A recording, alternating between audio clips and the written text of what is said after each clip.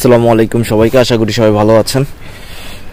দেশের এবং দেশের বাইরে থেকে যারা আমার ভিডিওগুলো দেখেন, কিছু ইনফরমেশন জানার জন্য হয়তো আমার ভিডিওগুলো দেখেন, তাদেরকে আন্তরিক শুভেচ্ছা জানাচ্ছি। ইভেন যারা এসেছেন আল্লাহ রহমতে আমার ভিডিও থেকে সামান্য একটি ইনফরমেশন পেয়েছেন, এক পার্সেন্ট সঠিক ইনফরমেশন পেয়েছেন। আমি তাতে আমি মনে করি যে আমি যেই পারপাসে এই ইউটিউব চ্যানেলটা খুলেছি, সেটা সফল। তো আজকে যে বিষয়টা নিয়ে কথা বলব, সেটা হচ্ছে ক্যাশ পাওয়ার পর থেকে আপনার করণীয় কি? এবং আসার আগ পর্যন্ত সেটা নিয়ে সামান্য কিছু গাইডলাইন দিব আপনাদেরকে। যারা আমার ভিডিওগুলো প্রথম দেখছেন, তাদেরকে রিকোয়েস্ট করব যে ভিডিওগুলো দেখে অবশ্যই সাবস্ক্রাইব করবেন এবং অন্যকে দেখার সুযোগ করে দিবেন। যে বিষয়টা নিয়ে কথা সেটা হচ্ছে, আপনারা যখন ক্যাশ পেয়ে যাবেন, তখন তো আপনাদের সর্বপ্রথম কাজ শুরু হয়ে যাবে আপনাদের একটা মোটামুটি আপনারা ধরে নিতে পারেন যে আপনারা হচ্ছে ইউকের হাফ কাজ সম্পূর্ণ করে ফেলছেন। এখন হচ্ছে আপনার ভিসা যেই ভিসাতে ভিসাটা পেলে আপনি হচ্ছে ইউকে চলে আসবেন। সাথে সাথে আপনারা যেটা কাজ করবেন, যেহেতু আপনাদের, আমি যতটুকু ধারণা, যারা এখন আসছেন, ম্যাক্সিমামে হচ্ছে ডিপেন্ডেন্ট নিয়ে আসতেছেন, যারা ডিপেন্ডেন্ট ছাড়া আসতেছেন, সবার ক্ষেত্রে একই বিষয় যে আপনারা যখন অ্যাপ্লাই মানে ভিসা ক্যাশ পেয়ে যাবেন ক্যাশ পাওয়ার সাথে সাথে টাকা জোগাড় করে তাড়াতাড়ি আপনারা হচ্ছে আইএসএসপি মানে ভিসার জন্য অ্যাপ্লিকেশন করতে গিয়ে আইএসএসপি এবং হচ্ছে যে অ্যাডমিশন ফিটা আছে অ্যাম্বাসি ফি সেটা দিয়ে দিবেন। খুব দ্রুত দিয়ে আপনারা হচ্ছে বিএফএস এর জন্য হচ্ছে বুকিং দিয়ে ফেলবেন এবং with all your document BFS এ কি কি ডকুমেন্ট নিয়ে যাবেন, কত টাকার প্যাকেজ নেবেন, এই রিলেটেড আমার একটা ভিডিও আছে। তো আপনারা এই ভিডিওটা দেখলে অনেকটাই বুঝতে পারবেন যে আসলে কি করা উচিত। কীভাবে কি করবেন, কি কি ডকুমেন্ট লাগবে, না লাগবে, এই বিষয়গুলো আপনারা অটোমেটিকলি জানতে পারবেন। যদিও, যদি আপনারা কেউ খুঁজে না পান, আমি আমার এই ভিডিওতে, আমার ওয়ালে শেয়ার করে দিব। আপনারা চাইলে সেখান থেকেও দেখে নিতে পারেন। তো যে বিষয়টা নিয়ে কথা হচ্ছে, যে আপনি যখন ক্যাশ পেয়ে যাবেন, তো আপনি তো অ্যাপ্লাই করে ফেলবেন অ্যাপ্লাই করে বিএফএস এর জন্য ডেট নেবেন। বিএফএস এর ডেট নেয়ার পরে আপনার করণীয় থাকবে, আপনি যখন বিএফএস এর সকল কাগজপত্র জমা দিবেন এবং বিএফএস এর সব সময় হচ্ছে ক্যাশে যে কাগজপত্রগুলো জমা দিয়েছেন, সেগুলো ডকুমেন্ট জমা দিয়ে দিবেন। কোনোটা লাগবে, কি লাগবে না, কারও কথা বা কারও কথা না শুনে এই ধরনের কাজ করবেন না। সম্পূর্ণরূপে আপনার যে কাগজগুলো আপনি ক্যাশে জমা দিয়েছেন, প্রত্যেকটা কাগজ হচ্ছে আপনি আবার ভিএফএস জমা দিবেন। প্লাস আপনার যে এক্সপিরিয়েন্স লেটার থেকে শুরু করে সবকিছু যেন এডিশনাল ডকুমেন্টের জন্য আপনার আরও দশ দিনের মতো সময় না লাগে।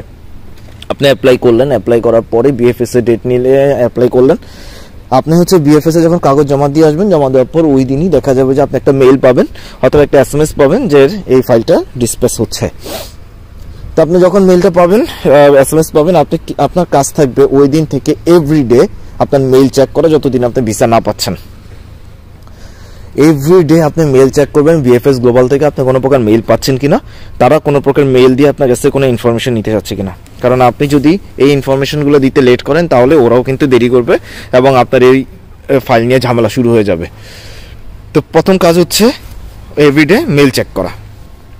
সেকেন্ড কাজ যেটা, সেটা হচ্ছে আপনি আস্তে আস্তে খোঁজা শুরু করবেন আপনার এরিয়ার আশেপাশে কোন এরিয়াগুলোতে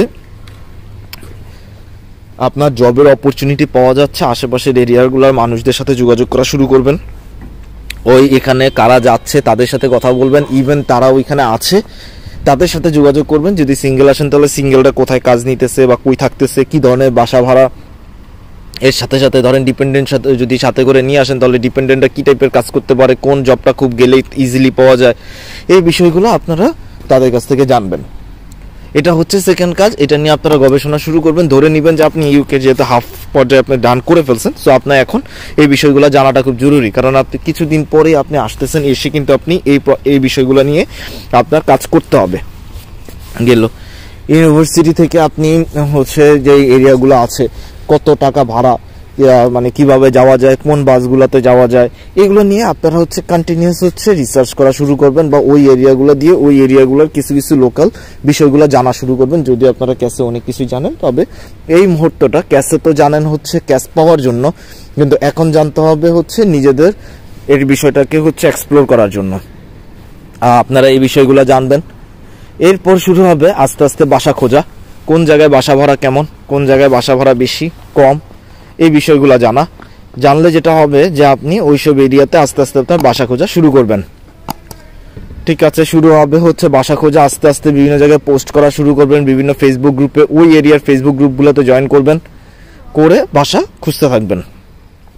এর পরবর্তীতে কাজ থাকবে যে এভরিডে তো আমি বললামই, ধরেন বিএফএস যদি হচ্ছে মেল পেয়ে যান, যে ডকুমেন্টগুলো দেয় ডকুমেন্টগুলো সাবমিট করার পর হচ্ছে আপনি, ধরেন হচ্ছে সর্বপ্রথম পাবেন হচ্ছে বিআরপি মেইল আর হচ্ছে বিআরপিটা দিতে মানে সবাইকেই দেওয়া হবে হচ্ছে, বলা হচ্ছে যে ডিসেম্বরের চব্বিশ পর্যন্ত এরকম বলতেছে, আবার কেউ বলতেছে হচ্ছে জানুয়ারি চব্বিশ, তো এই বিষয়টা নিয়ে আমি আগেও ক্লিয়ার করেছি, আপনারা চাইলে ভিডিওটা দেখতে পারেন।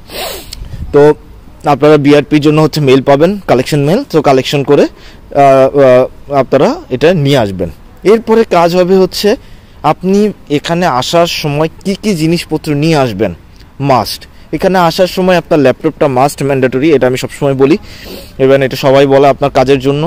এছাড়াও টুকিটাকি যেসব জিনিসগুলো থাকে, আপনার বিমানের টিকিট থেকে শুরু করে প্রত্যেকটা বিষয় নিয়ে আপনার খোঁজখবর নেওয়া শুরু করতে হবে। কারণ যেহেতু আপনি জানুয়ারি পরে আসলে আর ডিপেন্ডেন্ট শো ঢুকতে পারবেন না সো আপনার জানুয়ারির আগে যেন আপনি ইউকে ঢুকতে পারেন। সো এই বাই দ্য প্রসেস আপনার আগাইতে হবে। একটা কথা বলে রাখি, বাসা সবসময় চেষ্টা করবেন হচ্ছে যদি বাঙালির কাছ থেকে নেন তো নিলেন। বাঙালি ছাড়া যদি ইংলিশ কারও কাছ থেকে নেন, কোনো প্রকার এজেন্সি, কোনো প্রকার মানে ট্রাস্টেড সাইট ছাড়া কোথাও থেকে বাসা নেবেন না। ফেসবুক মার্কেট প্লেস বা এই ধরনের বিষয়গুলো থেকে দূরে থাকবেন। আমি বারবার বলছি, এখন জিনিসটা হচ্ছে, আমি যখন এই বিষয়গুলো অতিরিক্ত বলি, তখন মানুষ যেটা বলে যে, ভাই, তাহলে আপনি বাসা খুঁজে দেন। আমি এক্সট্রিমলি সরি আমি কাউকে বাসা রিলেটেড আর হেল্প করছি না। আপাতত, এটা আমি বলেছি আমার একটা ভিডিওতে। ইভেন এটা কেন, এটা আমি একান্ত জানি, আমি এটা রিভিল করব না। তবে এটা বুঝতে পারেন যে, আমার একটা প্ল্যান ছিল যে আমি এই বছর দশটা মানুষকে যারা আসতেছিল সেপ্টেম্বর অক্টোবর তাদের দশটা ফ্যামিলিকে হেল্প করার, আমি আলহামদুলিল্লাহ করে ফেলছি। আমি আসলে আর এটাকে বাড়াইতে চাচ্ছি না। কারণ আমি আসলে বিভিন্ন প্রবলেম ফেস করতেছি এখন। তো আমি আসলে বাসা রিলেটেড হেল্প করতে পারছি না, আপনারা নিজেরাই খুঁজে নিতে হবে। তবে আমি যেটা বলব, আমি শুধুমাত্র একটু গাইডের জন্য যেটা বলব, চেষ্টা করবেন অল দ্য টাইম এজেন্সির কাছ থেকে বাসা নেওয়ার জন্য।